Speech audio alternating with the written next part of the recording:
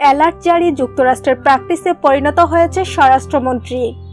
বাংলাদেশে অবস্থানরত মার্কিন নাগরিকদের চলাচলের ওপর দেশটির সতর্কতা জারির বিষয়ে স্বরাষ্ট্রমন্ত্রী আসাদুজ্জামান খান কামাল বলেছেন, বর্তমানে বাংলাদেশে অ্যালার্ট দেওয়ার মতো কোনো ঘটনা ঘটেনি।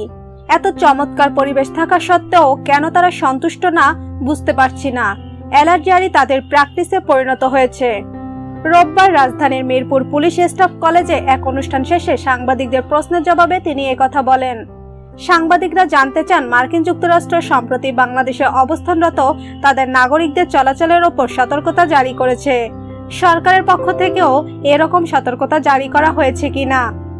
জবাবে স্বরাষ্ট্রমন্ত্রী বলেন, প্রথমে বলেনি রেড অ্যালার্ট নয়, তারা তাদের নাগরিকদের অ্যালার্ট দিয়েছে।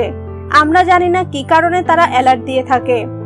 এর আগে শুক্রবার বিকালে মার্কিন সতর্কবার্তার বিষয়ে প্রধানমন্ত্রী শেখ হাসিনা বলেন, ঝড়ঝাপটা ও নানা দুর্যোগের মধ্য দিয়েও বাংলাদেশ যখন এগিয়ে যাচ্ছে, তখন হঠাৎ করেই মার্কিন যুক্তরাষ্ট্র নিরাপত্তার সতর্কবার্তা জানিয়েছে। কিন্তু কেন তারা এ ধরনের সতর্কবার্তা দিল তা বুঝতে পারলাম না।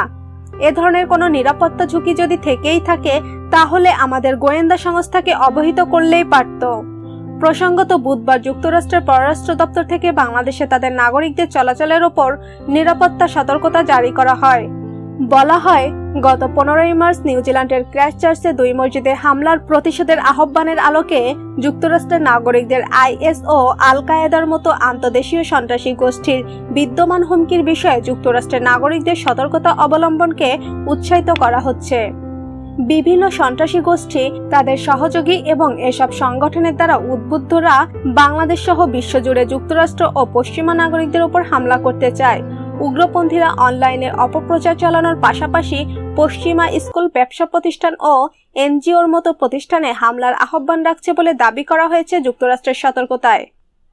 ভিউয়ার্স, এতক্ষণ আমাদের সাথে থাকার জন্য ধন্যবাদ।